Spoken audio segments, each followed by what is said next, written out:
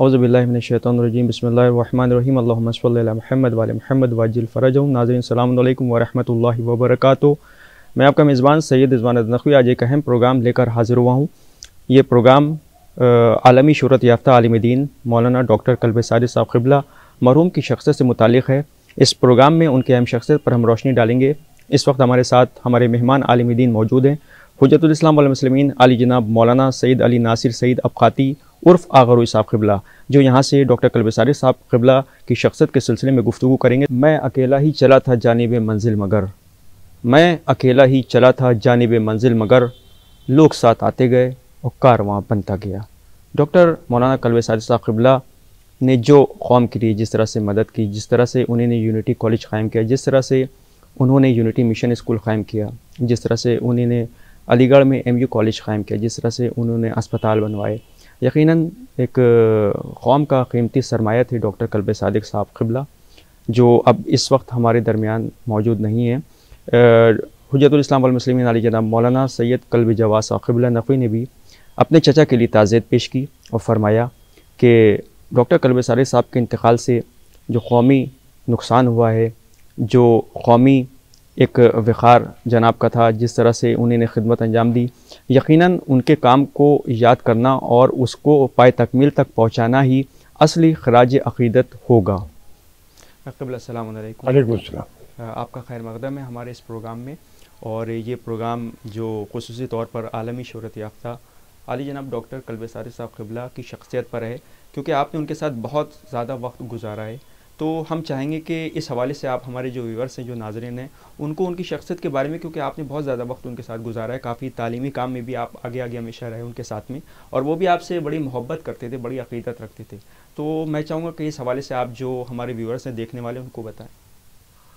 असल में कलब सादिक साहब कबला का और मेरा मामला इतनी ज़्यादा क़ुरबत ज़ाती तौर पर मेरी उनकी रही है कि उनकी बीमारी का वो मरहला जिसमें मुजज़े की उम्मीद रह गई थी जी। और ज़िंदगी की तो ख़त्म हो गई थी। इस चल में ये बात मैं ज़रूर अर्ज़ करूँगा कि नवाब मोहसिन अली ख़ान नवाब मीसब अली ख़ान और डॉक्टर अब्बास अली मेहदी साहब इन तीनों का हम तमाम कल्ब सादिक साहब के चाहने वालों पर ये एहसान है कि इन लोगों ने तीन बरस जिस तरह राम यूनिवर्सिटी के माहिर तरीन डॉक्टरों से और मुल्क के माहिर तरीन डॉक्टरों से उनके इलाज और उनकी ज़िंदगी को बचाने के सिलसिले में जो बेलौस मोहब्बत और ख़िदमत की इसकी मिसाल मेरे जहन में। लखनऊ से लेके नजफ़ अशरफ और ख़ुद के मरज तकलीद और के लिए भी कहीं नज़र नहीं आती। कल्ब सादिक साहब से मेरा जो ज़ाती ताल्लुक़ वो मुझसे ग्यारह या तेरह साल बड़े थे। अच्छा, अच्छा। लेकिन आ, उनके मिजाज में जो आ, एक इनकसार था और आ, दोस्ती का सा माहौल बन गया था। उसमें मेरे उनकी बेतकल्लुफ़ी हो गई। फिर वो आ, मेरे वालिद के इंतकाल के बाद मेरे उम्र जब मेरे वालिद का सिद्ध मिलत का इंतकाल हुआ उन्नीस साल की उम्र थी उस वक्त से उन्होंने बहुत ज़्यादा मुझसे अपनी दोस्ती ताल्लुक़ और बेतकल्लुफ़ी को बढ़ा लिया। और एक आ, बड़े ने अपने बराबर का बनाने की कोशिश की मुझे। ये उनकी बहुत बड़ी बात थी। फिर दूसरी एक उनकी ससुराल हो गई शहनशाह बिल्डिंग और शहनशाह हुसैन साहब वकील मरहूम से हमारे आबा अजदाद के जो ताल्लुक़ थे वो अपनी जगह पर मेरा ज़ाती ताल्लुक़ ये था कि छुट्टियों में बचपन में सड़क पार करवा दी जाती थी अच्छा। और कल सादिक साहब के ससुराली में मेरा बचपन खेलते कूदते गुजरा उनकी अहलिया को मैं जब से बोलना सीखा है शायद तब से मैं उन्हें बाजी कहता हूँ। अच्छा। तो एक रिश्ते में बेतकल्लुफ़ी का एक अंसर ये भी शामिल हो गया था। असल में कलब सादिक साहब उन ख्वाबों की ताबीर से जो माजी में देखा गया था।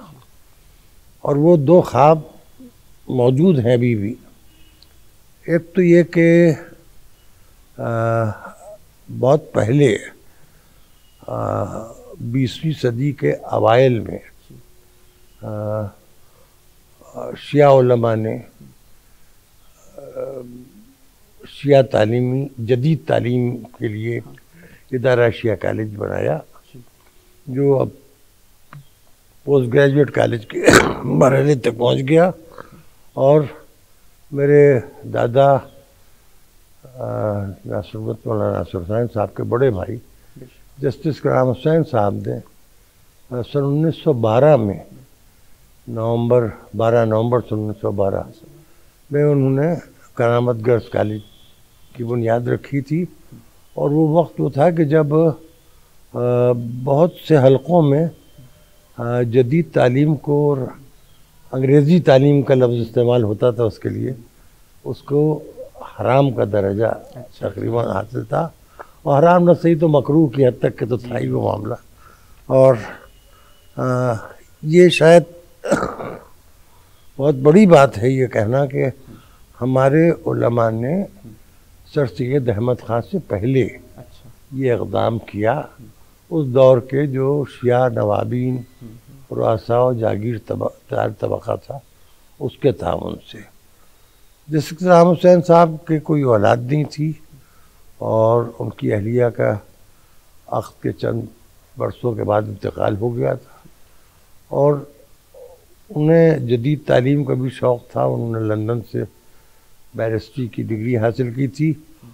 और फिर लखनऊ में उस वक्त तक इलाहाबाद हाई कोर्ट की ये ब्रांच जो है, ये नहीं खुली थी। तो इलाहाबाद ही में वो बहसीत बैरिस्टर के प्रैक्टिस करते थे। और उनके ताल्लुक उस वक्त मोतीलाल नेहरू से जवाहरलाल नेहरू से लोगों से हुए। जिसकी वजह से हम लोगों का हाँ, हाँ। रबता हाँ, इस ख़ानदान से हुआ कांग्रेस के। खैर उलमा ने उस वक्त अहल सरबत के ताउन से शिया कॉलेज बनाया और जस्टिस राम हुसैन साहब के पास पैसा बहुत था। और अखराज उनके जहरे के फ़र्द वाहिद के अखराज क्या हो सकते हैं? तो उन्होंने अपने पैसे से करामत गर्ल्स कॉलेज की बुनियाद डाली। तो ये रुझान तो हमारे उलमा में सर सैद अहमद ने जो काम शुरू किया वो सन उन्नीस सौ पैंतीस में किया। और मैं इस बात को बहुत खोल के कर रहा हूँ चाहे किसी को अच्छा लगे या बुरा लगे सर सैद अहमद को अंग्रेज़ों की पूरी सरपरस्ती और ताउन हासिल। था हम्म, हम्म। हमारे ओलमा ने जो इदारे बनाए तालीमी जदीद तालीम के वो अपने ही फ़िरक़े के मालदार तबके से जो चूँकि ख़ानदानी रुआसा थे लिहाजा उनमें नौदौलतियों के दिखावे नहीं थे बल्कि उनके यहाँ एक इनकसार था और वो अपने लिए शरफ समझते थे कि ओलमा के कहने से हम कोई खदमत इंसानियत के लिए अंजाम वो मामला जब कुछ बनता है तो बहुत ही शान से बनता है फिर उसके बाद उसके कैद जवाल आता है। और वो अहद जवाल आया इस बर सग़ीर में इस सब कॉन्ट्रेंट में जिसने माफ़ कीजिएगा हिंदुस्तान को दो हिस्सों में हाँ, तकसीम किया जागीरदारी निज़ाम ख़त्म हुआ और आहिस्ता आहिस्ता वो इदारे जिस मकसद के लिए बनाए थे जी। वो मकसद पूरा नहीं कर पाए। उसी दौरान कलब सादिक साहब ने और मैंने तकरीबन जाकरी के हवाले से और मेंबर के हवाले से एक साथ ज़िंदगी शुरू की थी। वो मुझसे ज़ाहिर है कि दस साल ग्यारह साल आ, आगे थे और मैं उससे पीछे था तो आ, उस वक्त हम लोग सफ़रों में साथ साथ रहते थे। और ये मसला दरपेश था कि इन हालात में फ़क्र फाक़े से और अफलास से और इस तारीकी से जो पूरा निज़ाम तब्दील हो जाने की वजह से पूरे मुल्क को बता रही थी। अलफ़क्र काना यकूदा कुफरा कभी कभी फ़ख्र जो है वो कुफर की हैसियत अख्तियार कर जाता है। और वो नौीयत थी तकरीबन। बड़ा बुरा है देखा है हम लोगों ने। और धीरे धीरे हालात तब्दील होते गए। फिर ऐसा हुआ कि एक अशर मजालस पड़ोसी मुल्क में एक साहब के घर में सुबह होता अच्छा। उन्होंने शुरू किया था। उससे कल सादिक साहब जाना शुरू किया उन्होंने और वहीं से फिर उनका लंदन का पहला सफ़र शुरू हुआ। बल्कि मुझे अच्छी तरीके से याद है कि जब वो लंदन जा रहे थे तो हम लोगों के पास उस वक्त सामान वगैरह भी अच्छा अच्छा। वहाँ मेडिसन से अटैचियाँ खरीद लेते हाँ, थे हाँ। बैग होते थे। मुझे ज़रा अच्छी चीज़ों का शौक वौक था। तो मेरे पास सनसोनाइट के दो सूट केस थे। अच्छा। तो मैंने उनसे कहा था आप लंदन जा रहे हैं आप मुझसे सूट केस कर्ज ले लीजिए। हाँ हाँ। और ये कर्ज आप सूद समेत अदा कीजिएगा। तो उनका जो पहला सफ़र हुआ है उसमें मैंने उन्हें अपना सूटकेस दिया था और वो हफ़्ते उसी मामूली से बैग के ऊपर जी इक्तफा कर लेना चाहते थे। खैर। असल में एक अरसे तक उन्हें लोगों को उनके ऊपर भरोसा हुआ। उनके यहाँ वो ईमानदारी, वो दयानतदारी जो उलमा का तरीक़ा है, वो थी। और हम लोग जिस अहद के लोग हैं, हमने बेमकसद दीनी तालीम न दी गई हमको। न बेमकसद हमने दीनी तालीम हासिल की। हम लोगों के असलाफ ने हमें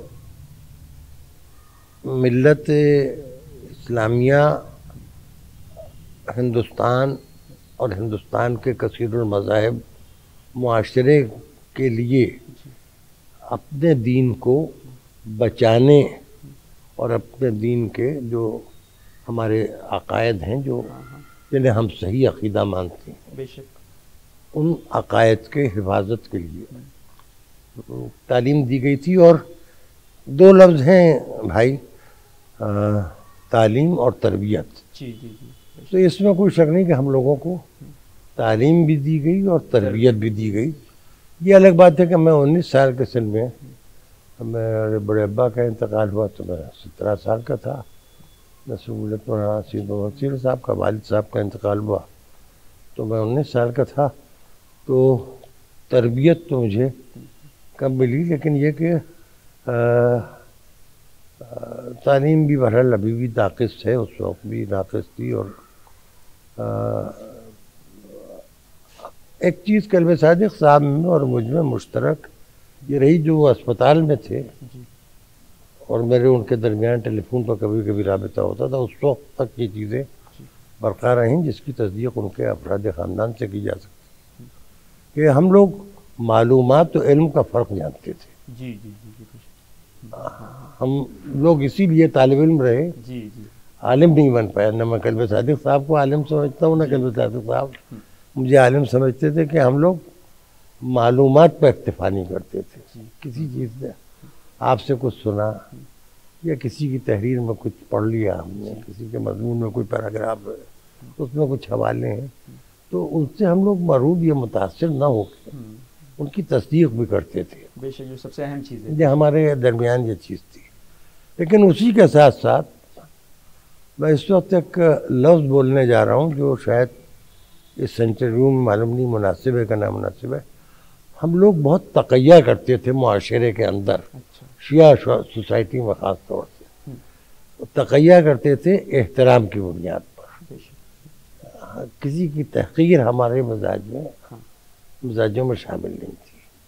और अगर कोई कोई बात कह रहा है और हमें यह अंदाज़ा है कि अगर इसके कहा जाएगा कि भाई ये बात जो आप कह रहे हैं ये दुरुस्त नहीं है तो नाखुश हो जाएगा तो मैं उसके किसी करीबी शख्स को ढूंढ के उसके कान में बात डाल देते थे कि गलती ना हो। लेकिन फिर आखिर में कलब सादिक साहब झुंझला के आ, आ, जाहिलों के खिलाफ बोलने लगे थे।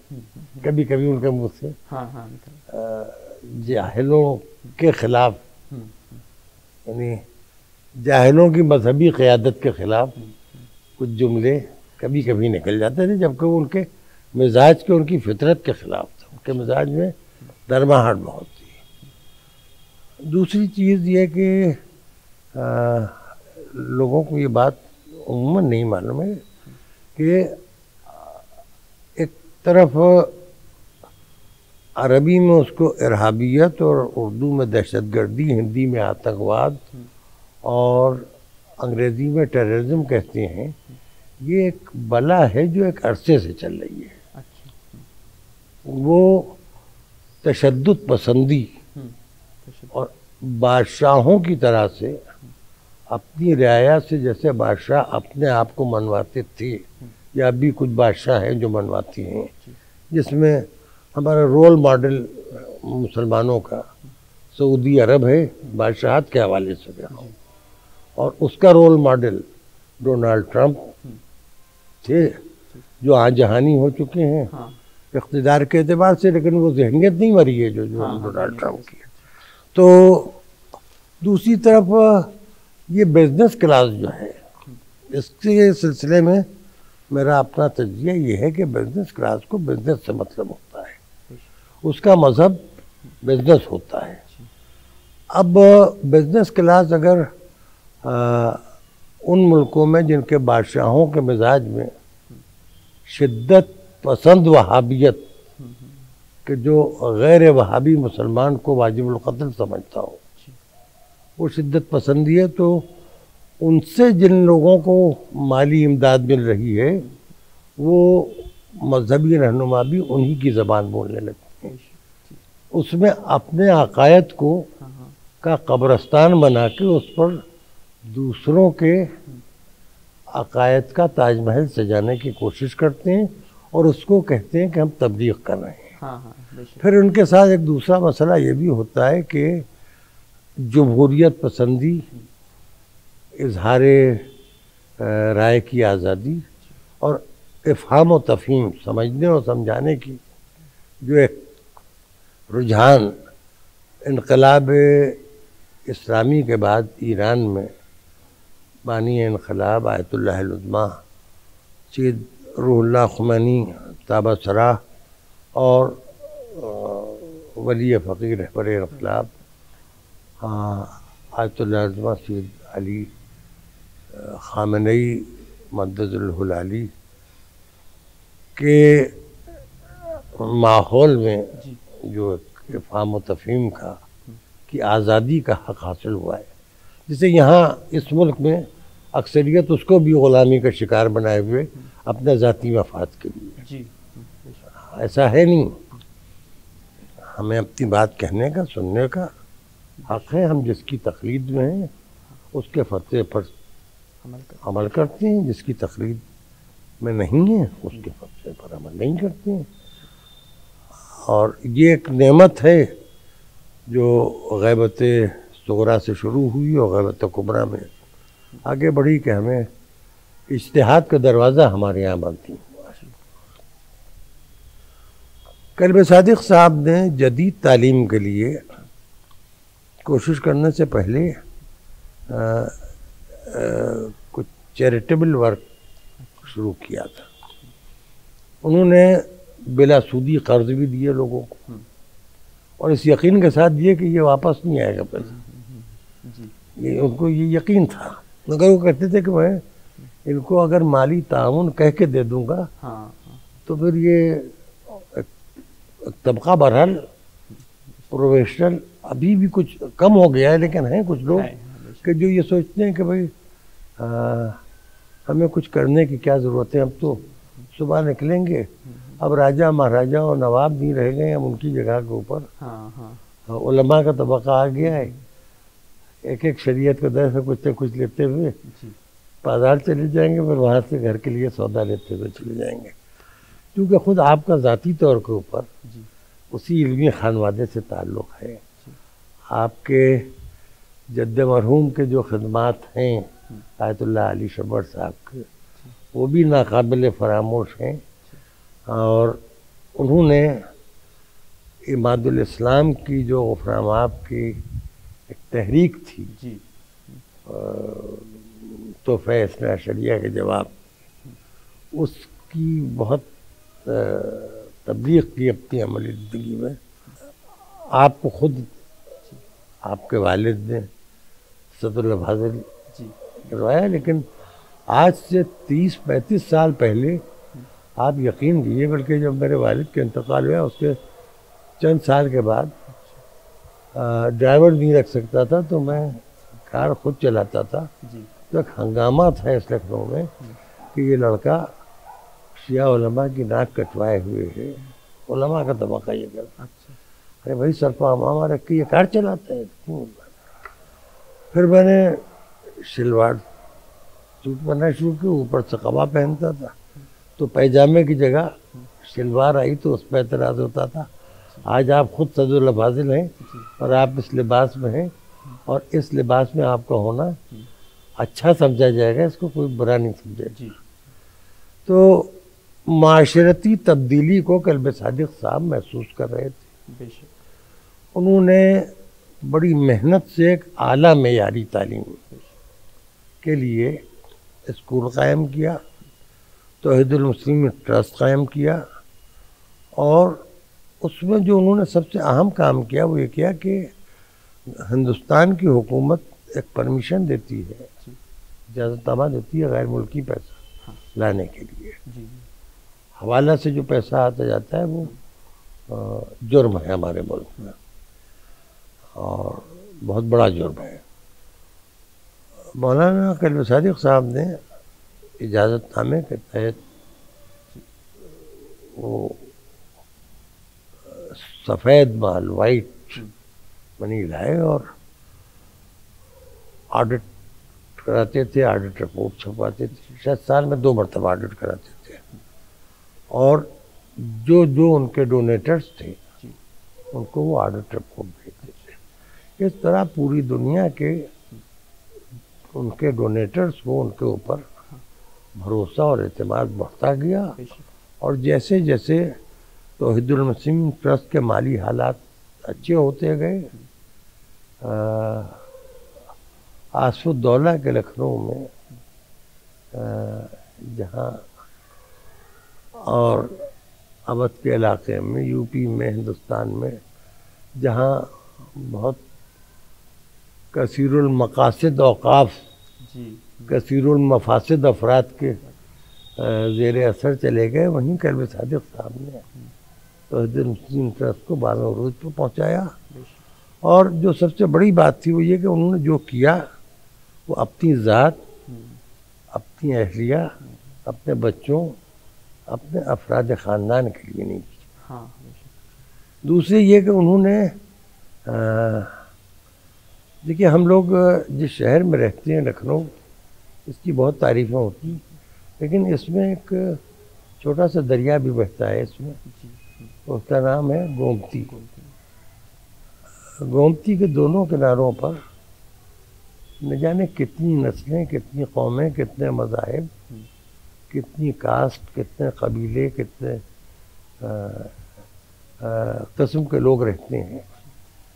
और दरिया के किनारे बसने वालों की समझ में ये बात आती है कि दरिया बहने के लिए नहीं बहता है, बल्कि इंसान की बुनियादी ज़रूरतों को हाँ, पूरा करने के लिए बहता है जिसमें दरिया प्यास की मुखालफत की सबसे बड़ी अलामत है। हम्म।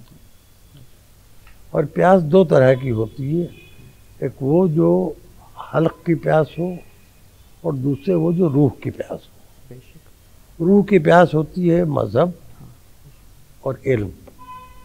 जब इल्म और मज़हब एक साथ होते हैं तो फरागदली और आग जहनी पैदा होती है हम लोगों ने साथ साथ काम किया लेकिन कहीं कहीं पर हमें एक दूसरे से अलग होना पड़ा। मैं इस बात से उसकी वजह ये कि वो जो मैंने अभी शुरू में इशारा किया बहुत ही शिद्दत पसंद हाँ, हाँ, जो एक तबका था जो किसी तरह से भी हमें कबूल नहीं करता हर तरीके से हमारे मज़हब पर तो छोड़िए हमारे इमामों पर। की शान में गुस्ताखियाँ कर रहा था। इधर आलम इंसानी को एक नारा ईरान से मिला इतिहाद बैन मुसलमिन का। बहुत अच्छा नारा है। लेकिन ये याद रखिएगा कि दुनिया में जहाँ जहाँ अक्सरियत अकलीत से इतिहाद की बात करती है वहाँ तो इतिहाद मुमकिन है। लेकिन जब अकलीत अक्सरियत से इतिहाद की बात करती है तो अक्सरियत का मिजाज भीग देने वाला हो जाता है हाँ, इतिहाद के नाम बिल्कुल। ईरान में शिया अक्सरियत है। इराक में आयतुल्ला सिस्तानी ने इराक को टूटने से बचाया इतिहाद का नारा देके आ, वहाँ भी शियों की अक्सरियत है इराक में। और अगर उस वक्त वो तारीखी नारा न देते तो इराक टुकड़े टुकड़े हो जाता। और हज़ारों शियों के मरने के बाद उन्होंने इंतकाम न लेके बर्दाश्त कर लेने के अमल के लिए वो बात कही जिसको जिसकी वजह से आज इराक तकसीम होने से बच गया। अगर ये कहा जाए कि मोहम्मद अली जना साहब का बहुत बड़ा कारनामा ये है कि उन्होंने हिंदुस्तान के टुकड़े कर दिए और तो मैं ये कहूँगा कि उससे बड़ा कारनामा आयतुल्लाह रज़मा सैयद अली सिस्तानी जी। दामज लोग का है कि उन्होंने इराक के टुकड़े होने से बचा लिया। बचा लिया उसको बेशक तो ये जहनीत का फ़र्क समझ में आता है। तो मेरे और कल्ब सादिक साहब के दरमियान कई मरतबा इस मौजू पर गुफ्तु हुई और मैंने उनसे कहा देखिए मौलाना अब वक्त वो आ गया है कि ये नौजवान लड़कों में जज्बातियत तो है तजिए की सलाहियत थी और जिस मसलक के ऊपर हम सब के असलाफ थे हाँ मुझे उसी मसलक की तरफ़ वापस जाना पड़े। और मुझे अपना लबो लहजा तब्दील करना पड़ेगा। आ, और वरना ये कि हमारे नौजवान इधर उधर की बातें सुन के अपने अकीदों से नावाकिफ बल्कि मुनहरिफ हो सकते हैं। तो मैंने ज़रा मुनाजराना लहजे को तेज़ किया। फिर सियासी तौर के ऊपर भी मैंने उनके दरमियान बहुत शुरू में तो था मामला, लेकिन बाद में उन्हें ये एहसास हुआ था कि गलती हो रही है। लेकिन मैं अली मियाँ नदवी के पास भी जाता था, राब नदवी साहब के खदमत भी हाजिर होता था। लेकिन इस इख्तलाफ राय के बावजूद जो मुझे उनके मसलक से था, ज़ाती ताल्लुक थे। जबकि नदवे के उलमा से भी मेरे बड़े अच्छे और दोस्ताना ताल्लुक हैं। हाँ सुलेमान नदी साहब के दामाद का एक्सीडेंट में इंतकाल हो गया था। उसके बावजूद मैंने अपना हकी फरीज़ा समझा और सुलेमान नदी साहब को मैंने फ़ोन पर उनके दामाद की ताज़ियत अदा की ये अखलाकी कदरें जो हैं यही शायद लखनऊ को मुनफरद करती हैं। दूसरी जगहों से। जी जी जी कुछ लोग बेचारे अपनी खुद गरजी में या अपनी ज़रूरतों के तहत या अपना एक मिजाज बना लिया है उन्होंने कि कहीं बैठे तो दूसरी जगह की बुराई करते हैं खुश करने के लिए। आ, ये सिस्टम मैंने अपने यहाँ कभी नहीं बिल्कुल बिल्कुल जब कोई साहब किसी की बुराई करने लगते हैं तो मैं उनसे ये पूछ लेता था। कि भाई ये बताइए कि आपको मुझसे क्या काम है? जिन साहब को आप बुरा कह रहे हैं मैं बुरा कहना होगा तो मैं खुद उनसे जाकर उनके मुँह पर कह लूँगा। बिल्कुल आपके मुँह से मैं उनके लिए कोई बात क्यों सुनूं? हाँ हाँ बिल्कुल अगर मैं आपकी कोई खिदमत कर सकता हूँ कर दूँगा। नहीं कर सकता हूँ तो नहीं करूँगा। इस एतबार से हमारी सोसाइटी में मैं इस बात को खुल के कह रहा हूँ अभी कल्ब सादिक साहब के इंतकाल के बाद उनका एक फैज़ है कि उनकी वजह से मुझे ये पैगाम देने का मौका मिला है कि ये जो गीबत कदे बढ़ते चले जा रहे हैं। ये सिलसिला ख़त्म होना चाहिए। अगर आप में ज़रूरत है मेरे लिए मुझमें ज़रूरत है आपके लिए तो हम एक दूसरे से मिल के एक दूसरे पर एतराज़ कर सकती हैं। अगर वो एतराज़ गलती पर महमूल है तो अपनी गलती की की तलाफी करें। और अगर कोई गलत फहमी है तो बात करने से वो दूर हो जाए। लेकिन ये तरीक़ा बिल्कुल नामनासिब है। और दूसरी एक चीज़ ये है कि जिसको जिस अहदे पर देखा उसके पीछे गुलामाना दौर पड़े। ये चीज़ भी मुनासिब नहीं है। खुददारी जहालत से दूरी और अगर जहालत से दूरी होगी तो अफलास से दूरी खुद ब खुद हो जाएगी। अब आइए जदीद तालीम का मामला ये है कि वो बच्चे के जिनके वालदेन उनको हिंदी मीडियम स्कूल में भी तालीम नहीं दिला सकते थे। उन बच्चों को आला तरीन मैार की तालीम, यूनिटी से और यूनिटी के बाद बहुत से तालब इलमों को उन्होंने वजीफ़ा दिया है उन्होंने हिंदुस्तान के बाहर बड़ी यूनिवर्सिटियों से बड़ी डिग्रियाँ ली और आज दुनिया में मुख्तलिफ़ जगहों पर, बड़े अहदों के ऊपर वो बच्चे फायज हैं कि जिनका जो पैदा हुए थे छप्परों में। और अब यकीन कीजिए आप जिनके घरों में आ, हफ़्ते में एक आध मरतबा वाक़ा हो जाता था। ये कल सादिक साहब की तालीम के लिए जो इंतज़ाम किया। ये उनका एक कारनामा है। उसके अलावा उनका एक कारनामा और है जो उनकी आ, वो ये कि उन्होंने अपनी खिताबत को अपने अंदाज में बेहद नरमाहट पैदा करके इफ़ाम व तफहीम का ज़रिया बना लिया। और बाज़ मामला में आप यकीन कीजिए यकीन कीजिए यकीन कीजिए, मेरे और करब सारिक साहब के दरमियान बेहद शदीद नज़रियाती इख्तलाफ थे, बाज़ मामला में। लेकिन आप यकीन कीजिए यकीन कीजिए यकीन कीजिए, जितना मुझे उन पर और उनको मेरे ऊपर भरोसा था, बहुत कम ऐसा होगा।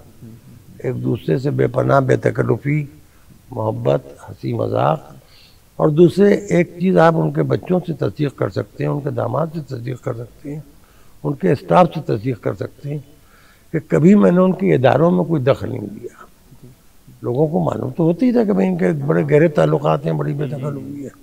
कोई साहब आए अपने बच्चे के एडमिशन के लिए यूनिटी कॉलेज में। तो अगर वो रिजेक्ट हुआ है तो मैं समझ जाता था कि कोई कमी की वजह से रिजेक्ट हुआ होगा। अब उनका दबाव मेरे ऊपर इतना होता था कि सिफारिश न करना भी मुमकिन नहीं था। तो मैं लिखता था कि अगर आपके इदारे के कवायद कवानीन के मुताबिक तो इनके बच्चे का दाखिला कर लिया। या कुछ तालब इलमों को तालिबात को जो तालीमी वजीफ़े तोहदुलमसीम ट्रस्ट से मिलते थे।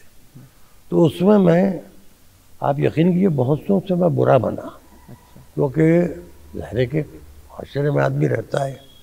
हालाँकि मैंने अपने को गुज्त बीस साल से कमामेज कर लिया है मैं अवामी ज़िंदगी से थोड़ा यानी परहेज़ तो नहीं कर रहा हूँ लेकिन ये कहिए कि थोड़ा अवामियत से परहेजगारी अख्तियार कर लिया। हाँ, हाँ, तो क्योंकि माशा तादाद बढ़ रही है तो आ, मैं जब तक के तहकीक तस्दीक नहीं कर लेता था कि ये बच्चा वाक़ मुस्तक है मैं रिकमेंड नहीं करता था। और जब मैं रिकमेंड करता था तो मैं ये लिखता था कि मैं अपनी शरी ज़िम्मेदारी और अपनी तहकीक के मुताबिक, जो ज़ाती तौर पर मैंने तहकीक की, ये बच्चा, ये बच्ची जो है इसको मैं तालीमी ज़रूरत के तहत माली इमदाद की तस्दीक करता हूँ। उसके अलावा मैंने कभी उनके इदारों में कोई दखल नहीं दिया। बाज़ मामला में मेरी उनकी गुफ्तु हुई। आ, वो रूमी गेट से लेके और घंटाघर के सामने तक का मैदान चाह रहे थे गर्ल्स कॉलेज बनाना चाह रहे थे हॉस्टल बनाना चाह रहे थे। उस सिलसिले में लालजी टंडन भी आज हानि हो गए उन्होंने उनसे कहा था। तो उन्होंने कल सादिक साहब ने मुझे फ़ोन किया था कि मैंने सहारा देखा। और आपसे बात करूँ इसमें आप कोशिश कीजिए। मैंने सात दिन के अंदर उन्हें ये रिपोर्ट दे दी थी कि ये ज़मीन मिलेगी नहीं, ये सब कुछ। हार्टिकल्चर और महकमे आसार कदीमा कब्जे में आ गया और बका के अतबार से ये बेहतर है, लेकिन ये कि अब इससे फ़ायदा नहीं मिलेगा। सबसे बड़ी बात यह कि इख्तलाफ राय के बावजूद हम लोगों के दरमियान कभी नफ़रत नहीं होती थी। हमने एक दूसरे से इख्तलाफ तो किया लेकिन आ, कभी अदावत नहीं की दूसरे। हम लोग एक दूसरे के बच्चों के सिलसिले में बहुत ही यानी माकूलियत का रवैया रखा। अब तो इख्तलाफात भी फ्री स्टाइल होने लगे हैं। अब तो वो यानी अल्फाज की जदोकोब और लफ्जियात के ख़ानदान की चादरें छीनना ज़बान की नौकनेजा से ये एक फ़ैशन बना हुआ है। यादों के कितने अटलांटिक हैं और उसमें कितनी लहरें हैं कल मैं सादिक साहब के सिलसिले में। मैं बातें करते करते खोया जा रहा हूँ। और अंदर से मैं अपने आप को बहुत ही पुरसकून रखने की कोशिश कर। रहा हूँ क्योंकि बड़ा बरल मौत एक यकीनी अमर है लेकिन बड़ा अजीब मरहला है कि वो आम अल्फाज उस ख़ास आदमी के लिए बिल्कुल बेकार हैं जो शख्सियत के इंतकाल के बाद। कहे जा रहे हैं। जी आपका मैंने एक न्यूज़पेपर में आपकी एक हेडिंग मैंने देखी थी जो सुर्खी बनी थी कि बेहतरीन सिफतों का समंदर खबर के कूजे में समा गया यकीन डॉक्टर कलब सारी साहब की जो शख्सियत है, उसके सिलसिले में आपने जो बयान दिया था भारत ये कि ये जो एक फरिश्ता सिफत इस दुनिया से चला गया तो अब ज़ाहिर सी बात है कि सदियों में पैदा होते हैं ऐसे इंसान के जो कुछ काम करते हैं, जो खिदमत के करते हैं, जो कौम के काम आते हैं, जिस तरह से उन्होंने कार है नुमाया अंजाम दिए। क्योंकि वक्त बहुत कम है तो हम चाहेंगे कि आखिरी पैगाम आप हमारे देखने वालों को क्या देंगे? डॉक्टर कलब सारी, साहब कबला के सिलसिले से। देखिए, मैं आपको एक बात बताऊँ। हमारे यहाँ सबसे अव्वल अल्लाह के बाद रसूलुल्लाह है।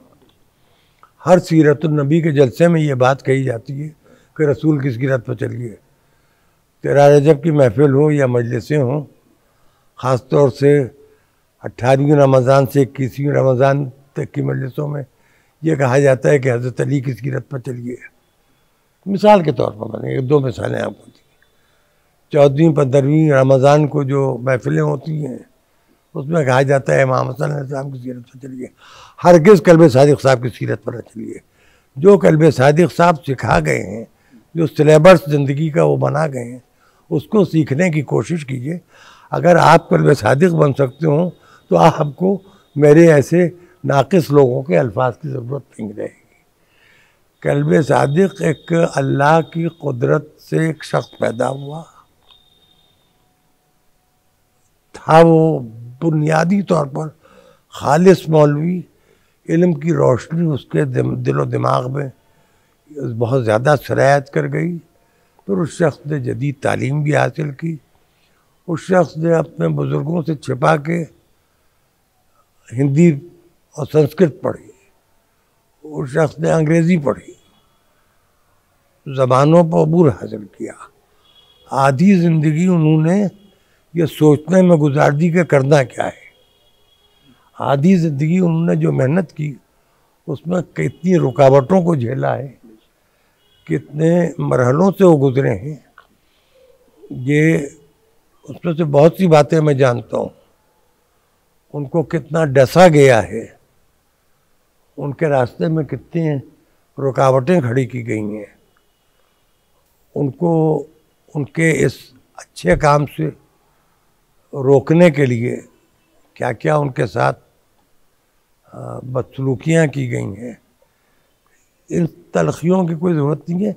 ये कह देना बहुत आसान है, बस नौजवानों एक बात सुन लो और चाहे आप आलिम दीन हो, चाहे आप डॉक्टर हो चाहे आप इंजीनियर हों, चाहे आप सियासतदा हों, चाहे आप जेर तालीम हों, आप कुछ कर रहे हो, आप काम के आदमी हो या बेकार आदमी हो। एक बात समझ लीजिए, कल्ब सादिक उस शख्स का नाम है जो आँखों में ठंडक बन के रहा और आँखों से आँसू बन के निकल गया। तो ये तो थे हजतुल इस्लाम मुस्लिमीन अली जनाब मौलाना सैद अली नासिर सईद अबकाती उर्फ़ आगरुई साहब क़िबला। इन्होंने यहाँ पर डॉक्टर कल्ब सारी साहब क़िबला की जो अहम शख्सियत है, जिन्होंने उन्होंने इल्म के मैदान में जो काम किया है, जिस तरह उन्होंने यूनिटी कॉलेज कायम किया, यूनिटी स्कूल कायम किया, साथ ही साथ अलीगढ़ में भी उन्होंने एम यू कॉलेज कायम किया। उनकी जो खदमात थे इस हवाले से वो गुफ्तु फरमा रहे थे। अब अपने मेज़बान सईद रिजवान नकवी और हमारे हुसैनी चैनल की पूरी टीम को दी इजाज़त। इस उम्मीद के साथ कि आपके सामने एक बार फिर हमारी मुलाकात होगी एक नए प्रोग्राम के साथ। आप देखते रहिए हुसैनी चैनल खुदा हाफिज़।